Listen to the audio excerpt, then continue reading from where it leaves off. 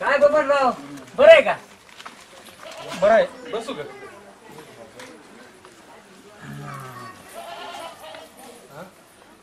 हे? बघ बबन.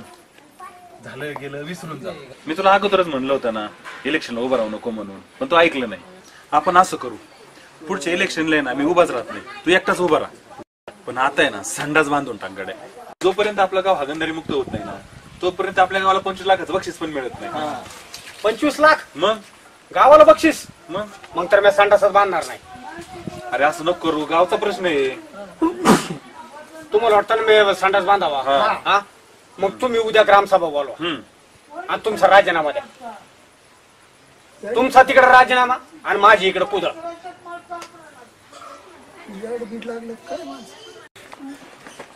सरपंच ते टर्मिनाचं काय नाही का ऐकू तुम्ही? होय सरपंच. लय गांड्याचा आहे तो. पक्का उभेन टाकलेले बी नाही ती. गावाचं भलं होणार असेल. आणि गाव जर आदर्श होणार असेल तर मी राजीनामा द्यायला तयार आहे. हो सरपंच. अ, तस काय करू नका. हा. हो राजीनामा देण्यापेक्षा पाचशे रुपये द्या. हं? पाचशे कशाला ए दहा मी तुला हजार तर सांगितलं ना भांग नको पिऊन येत जाऊ म्हणून. आज पण भांग प्याला ना तू. सकाळ सकाळ लावली असं ना. आणि ते पाचशे रुपयाचं काय कात लावणार आहे तू पुढे?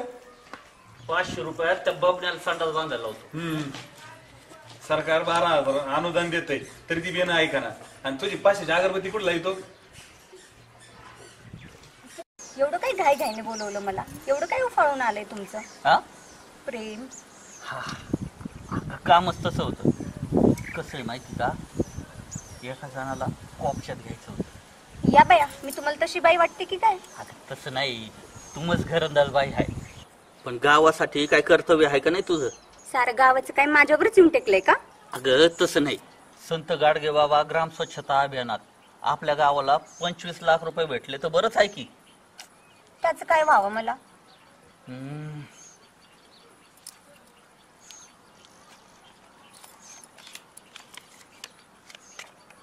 बघ सध्या तरी एवढेच आहेत. काय काम होतं? तुला त्यो बाबड्या माहिती का?